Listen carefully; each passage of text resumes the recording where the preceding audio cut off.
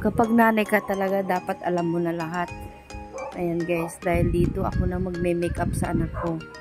Ayan, pinapili ko naman sila kung anong gusto nilang kulay sa pagme-makeup, kung anong style. Kasi kahit papano guys, nag-aral din ako sa pagme-makeup. Talagang tuwing may event sila guys, ako talaga yung nagme-makeup sa kanila. Talagang hands-on talaga ako sa kanila pagdating sa mga ganito. Dahil gusto ko, ako ang magpapaganda sa mga anak ko. Ayan, yung damit ng anak ko guys, yun po yung ginamit din ng panganay ko sa pagdidibo niya. Pati ang corona na yan. Ayan, tapos na tayo guys. Balik kakabit na lang natin yung corona. Ganyan po yung ginawa ko sa kanilang buhok. Tinaas ko po siya, tinirintas ko, baka mamay pagpawisan siya dun. Pagka ganyan, komportable siya. Tapos ayan po yung shoes niya, yung sandals na ginamit niya. Meron po ako sa TikTok shop niyan. Baka gusto niyo po, bisitahin nyo aking TikTok shop, Jim's Cooking so, din ayan po. na guys, boobs, sinong mama mo? O, ba diba? Ang ganda niya. Ayan, natutuwa po ako dahil nagawa ko po yung gusto ng anak ko sa kanyang makeup. Bali, nagustuhan din niya po. Ayan. Andito na kami sa kanyang venue. Bali, picture-picture ko po siya dyan. High school night kasi po nila. Kaya ayan. Bali yung gown na po yan guys, malaki yan. Bali ang sinuot ko lang po sa kanya yung pangtaas lang. May malit, may malaki po yan sa pambaba niya, may saya talaga yan.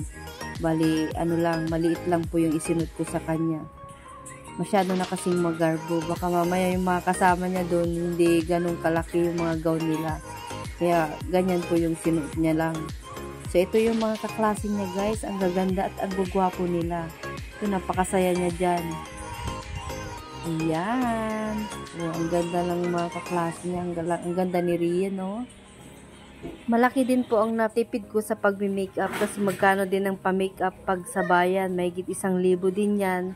Kaya maganda talaga pag marunong ka talaga mag-makeup. Lalo na pag mga babae, mga anak mo. Kaya ayan talaga guys, inaral ko. At natanghal din po siyang Princess of the Night. Ang galing na, di ba? Ganda eh.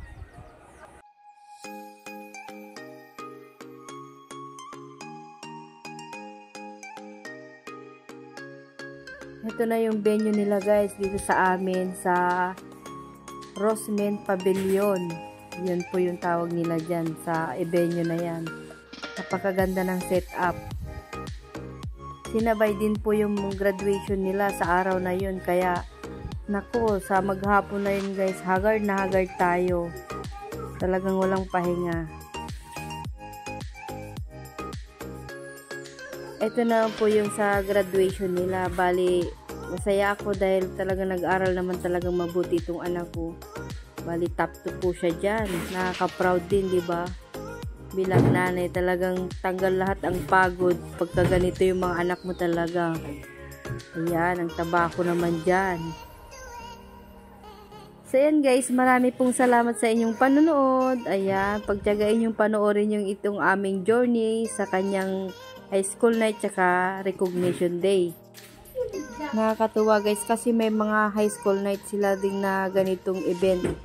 Nakakamiss din po yung mga kabataan natin, di ba? So ayan guys, kaya sabi ko sa mga anak ko, sumali din sila. Para maranasan din nila yung mga ganong ano, event. So ayun po, marami pong salamat sa inyong panonood. Sana gustuhan nyo muli itong video na to. Hanggang sa muli. Bye!